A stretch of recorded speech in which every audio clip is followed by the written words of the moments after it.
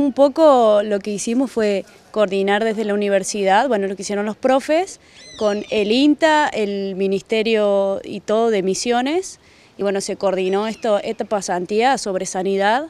Algunos grupos eh, hicieron tuberculosis a pequeños productores de leche y sangrado para brucelosis, y otros grupos eh, hicimos lo que es brucelosis en productores de carne.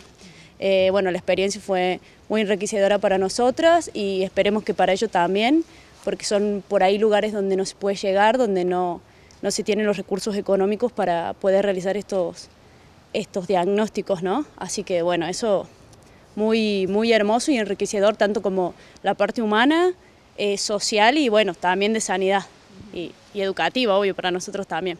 ¿Cuáles fueron algunos de los lugares que estuvieron visitando? Bueno, algunos de los lugares fueron Alba Pose, 2 de mayo, 25 eh, de mayo, em, San Pedro, bueno, varios, ¿no? Éramos 10 eh, grupos, nos dividíamos en 2, 3 y estábamos por distintos lugares de la provincia.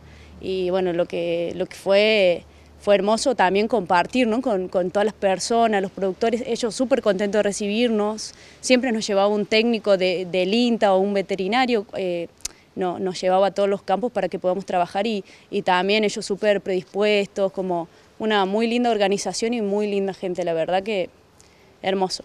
¿Y ahora en la universidad qué están haciendo? Y ahora estamos eh, ya con las muestras que tomamos de allá, procesamos los sueros y, y vamos a diagnosticar eh, brucelosis. Y la parte de tuberculosis, bueno, es, lo hace otro grupo, digamos, también, pero más o menos ya, ya lo tienen, lo, lo están viendo, digamos, también para devolverle el resultado a ellos.